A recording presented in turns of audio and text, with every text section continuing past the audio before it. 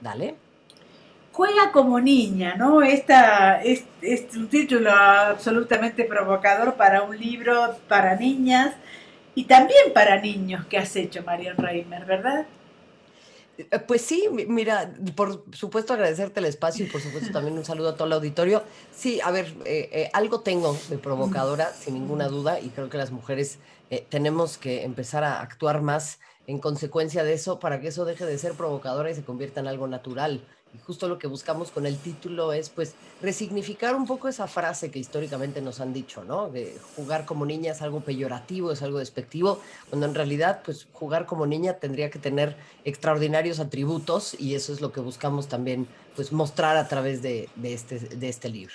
Cuando yo era niña, lo que yo hacía, tengo muchos hermanos que me siguen, lo que yo hacía era organizarles el juego y luego me iba a un rincón a leer o hacer cualquier otra cosa yo sola, digamos, ¿no? Entonces digo, claro, ¿cuánta gente habrá, como uno, como, mucha otra gente que conoce, que juega a determinada manera, no juega como dicen los mayores, ¿verdad?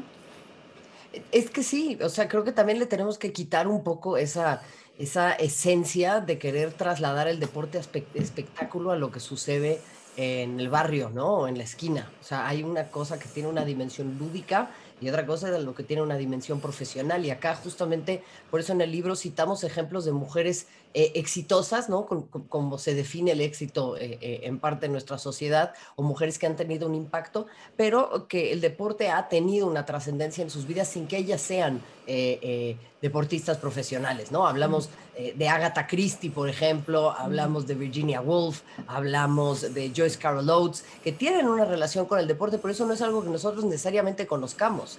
Y ahí es en donde también nos damos cuenta que pues esta actividad tiene que atravesar a las personas de distinta manera. Eso que dices es bien importante, porque por ello el primer capítulo del libro se titula No todo es ballet ni la clase de educación física, mm. porque la gran mayoría de las experiencias para muchas chicas, especialmente para muchas mujeres, en la clase de educación física son muy traumáticas y desde ahí se les desincentiva a practicar deporte.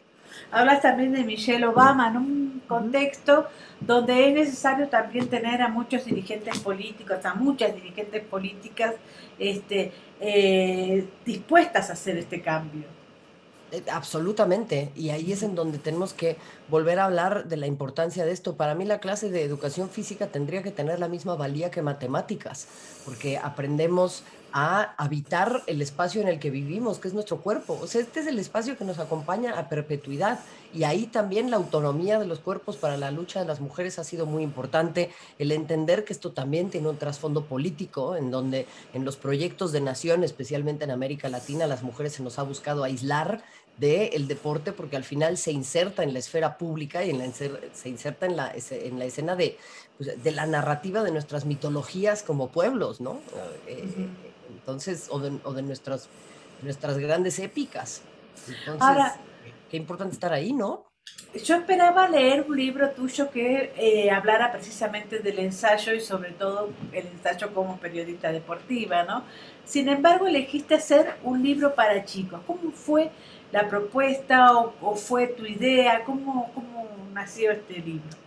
Pues es algo que empezamos a, trabajar con la editorial y con Tamara y con Karina, que son parte del equipo, y la verdad les estoy muy agradecida por su paciencia y por cómo me han acompañado en este que es mi, primer libro. Es un proceso que yo desconocía.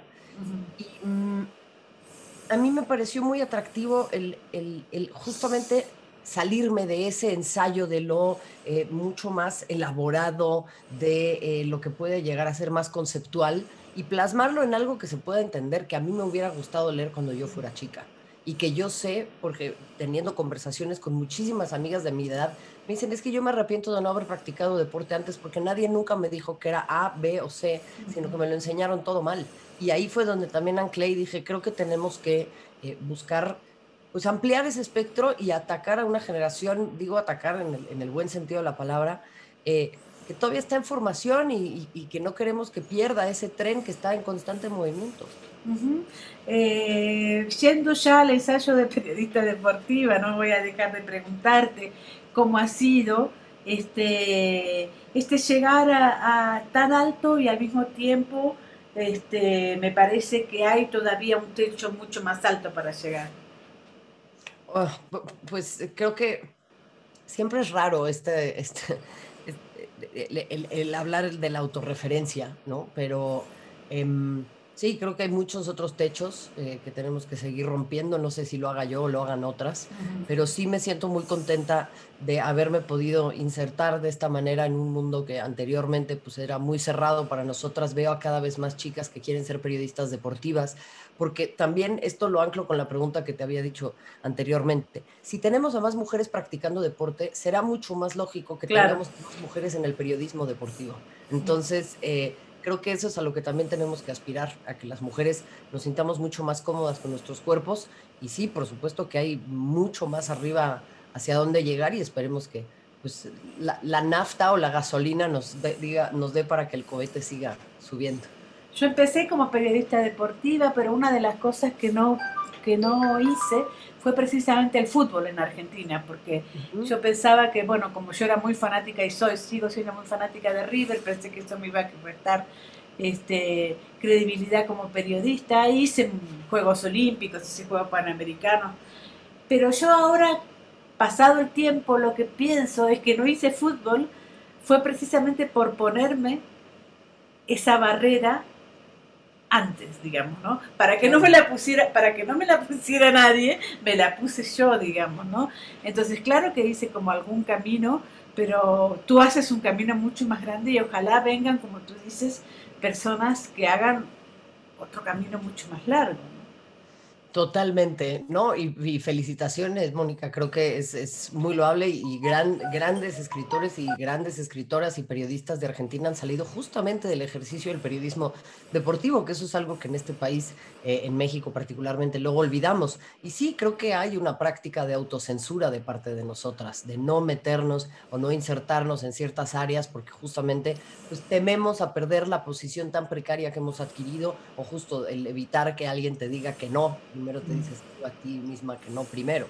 Eh, yo creo que habrá muchas otras que ojalá puedan, puedan seguir rompiendo ese techo. A mí siempre me dicen, es que no me gusta lo que haces en la Champions o no me gusta lo que haces en tal lugar. Está perfecto. Ojalá un día haya la misma cantidad de mujeres que hay de hombres y así también podrán elegir o incluso pues a las que eh, en teoría no somos buenas, pues nos podrán quitar, pero pues mientras tanto somos las que estamos y somos muy pocas. Yo creo que somos insuficientes insuficientes como para generar una competencia sana. Además de que, pues yo creo que la competencia, si lo definimos así, pues no tendría que ser entre mujeres y hombres como si fueran los Juegos Olímpicos la rama femenil y la rama varonil. Yo creo que esto tendría que ser una competencia mixta.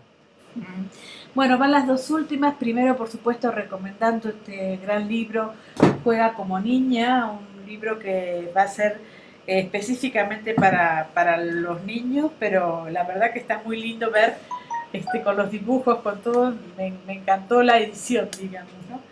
Las dos últimas preguntas tienen que ver, bueno, primero tu labor en la Champion, a mí, este, cuando yo escucho la Champion, y que por supuesto la escucho siempre, este, jamás pienso que hay una mujer. No, no, sé cómo explicarlo. Este, y eso me, me da como una cosa tan nueva para mí, digamos, ¿no? Te escucho a ti, pero no, no pienso que hay una mujer, digamos, ¿no? Entonces, en ese sentido, ¿qué te pasa cuando dicen, no me gusta, no me gustas tú, y tú piensas que es una cosa machista? ¿Cómo, cómo, cómo son las dos cosas? Bueno, es que hay una diferencia entre decir no me gusta tu trabajo porque no tienes ritmo, no me gusta tu trabajo porque no cuentas chistes, no me gusta tu trabajo eh, porque no me gusta el tono de tu voz. Bueno, eso es una apreciación subjetiva y perfectamente válida. Lo otro es el insulto, la descalificación y, el discurso de odio, que tiene que ver con mi postura feminista, con mi condición de mujer, con mi, eh, con mi orientación sexual. O sea, eso creo que trasciende y eso no le sucede a, nuestras contrapartes masculinas y tú lo sabes perfectamente. A ellos se les critica porque hablaron mal de un equipo, porque dijeron X o Y cosa e incluso hay una mayor permisividad porque yo he escuchado a varios colegas equivocarse, nadie se los menciona, se los dejan pasar como si, ah, bueno, tuvo un mal día, ¿no? Eh, con nosotras, y digo con nosotras porque hay otras mujeres también comentando, tal vez no necesariamente la Champions, eh, sí existe una, pues, un escrutinio mayor. Y sí creo que en mi caso además tiene que ver con mi posicionamiento feminista. O sea, eso es, eso es una realidad y es un costo que yo asumo. Y entiendo que hay gente que no le puede gustar mi trabajo y es perfectamente válido. Eso es a lo que voy. ¿Por qué no abrimos espacios y que haya otras mujeres o que haya otras voces y que entonces se pueda elegir? Claro, bueno, de todas maneras no creo que sea solo por tu posición feminista. Cuando nosotros hicimos hace unos ocho años eh, una cosa del mundial que hicimos con Laura García y un montón de otras, eh, nos hacían este, apreciaciones sobre nuestro físico. Ahí está. Entonces, decíamos, ¿cómo, ¿cómo puede ser esto? Digamos, ¿no? Y bueno, yo me fui inmediatamente porque jamás me había yo había sido sometida a, esos juicios, es terrible eso, pero bueno. Es muy desgastante. No, no, yo no, no hacía carrera ahí, pero la, la, última que quería preguntarte es que eh, hay una cosa que es muy, muy lógica, que está empezando a pasar y me parece que tiene que ver con esas apreciaciones sobre tu trabajo, que ahora cuando vemos por ejemplo, voy a, voy a decir un programa, La Voz en México, ¿no? Esa, esa cosa de que hay todos hombres, inmediatamente los sacamos, ¿no? Porque son todos hombres, todos hombres, todos hombres opinando sobre el fútbol. Entonces digo, es que ahora ya no me lo aguanto, digamos, ¿no? Y me parece que eso tiene que ver con, con, con las apreciaciones que, que dan sobre tu trabajo. Pero sin ninguna duda, o sea, es una, eh, eh, se está rompiendo esa costumbre, ¿no? Y hay quienes se quieren aferrar a ello y bueno, pues eh, ya veremos de qué lado de la historia quedan. Sí, exacto. Pero mientras tanto seguimos viéndote a ti en la Champions y qué, qué dices tú que quién va a ganar. Uf, qué complicado. Terminó la nota. veo, veo muy bien al Manchester City, veo muy bien al Manchester City, pero desde que arrancó el torneo, el Chelsea creo que puede también ser muy sorprendente. ¿eh? Perfecto. Un abrazo enorme, muchas gracias. ¿eh? Cuídate. Gracias. Un abrazo, bye bye.